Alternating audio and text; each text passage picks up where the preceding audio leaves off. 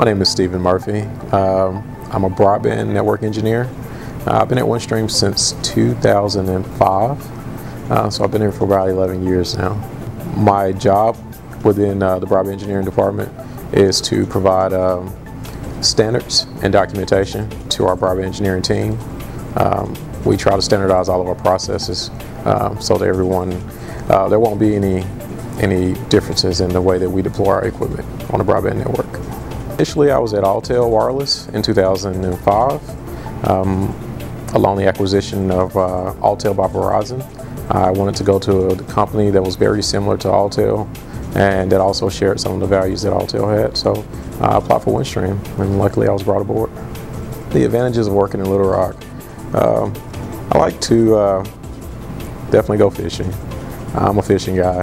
Um, also, uh, it's a sort of small, big city. Uh, so some of the advantages are definitely, you know, you see people and you casually, I mean, you may see people at work and you will see them and also while you're out traveling around as well. So you always run into people that you know.